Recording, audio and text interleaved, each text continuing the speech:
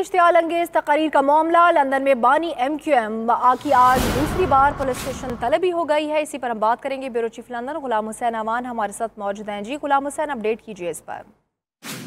جی بالکل۔ آج جو ہے وہ دوبارہ ایم کیو ایم کے جو بانی ہیں، ان کو لندن کے صدر اسٹیشن میں طلب کیا گیا کیونکہ ان سے انویسٹیگیشن جاری ہے۔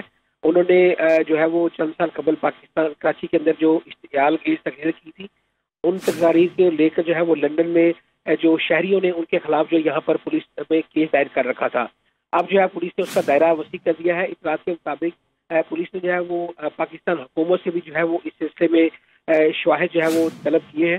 اور اگر جو ہے وہ آج ابھی تک تفتیش جاری ہے، تین گھنٹے ہو چکے ہیں۔ ایم کے کے بانی جو ہے پولیس اسٹیشن کے اندر موجود ہے اگر جو ہے وہ پولیس نے یہ فیصلہ کیا تو ہو سکتا ہے کہ الطاف حسین جو ایم کے ایم کے قائد ہیں، ان کو چارج بھی کیا جا سکتا ہے اور ان کو جو ہے وہ باقاعدہ آج گرفتار بھی کیا جا سکتا تھا۔ ہم ابھی تک جو ہے وہ پولیس کی تفتیش جاری ہے۔ ہماری ہماری اطلاعات کے مطابق جو ایم جی کے کے بانی ہیں، ان کے جو وکیل ہیں، وہ بھی ابھی پولیس اسٹیشن کے اندر گئے ہیں ان کی معاونت کے لیے۔ ابھی کچھ دیر میں پتہ چلے گا پولیس جو ہے وہ اگلا لایا ملک کیا اختیار کرتی اچھا غلام حسن یہ بتائے گا کہ اگر انہیں اریسٹ کیا جاتا ہے اور چارج کیا جاتا ہے، پھر انویسٹیگیشن کا رخ کس جانب جائے گا؟ پھر کیا پاکستان کو آگے بڑھ کر ہیلپ کرنا ہوگی پولیس کی یہاں پر؟ جیسا کہ آپ نے پہلے ذکر کیا کہ پاکستان سے ہیلپ کی ریکویسٹ کی گئی ہے۔ جی بالکل میں بتاؤں کہ یہ جو انسائٹمنٹ ہوتی ہے یہاں پر برطانیہ کے اندر، اس کے خلاف بڑا سخت قوانین ہے کہ آپ ایک ملک کے اندر بیٹھ کر دوسرے ملک کے اندر لوگوں کو لڑائی پر اکسائیں یا وہاں پر جو ہے وہ آپ امن و امان کی صورتحال کو خراب کریں۔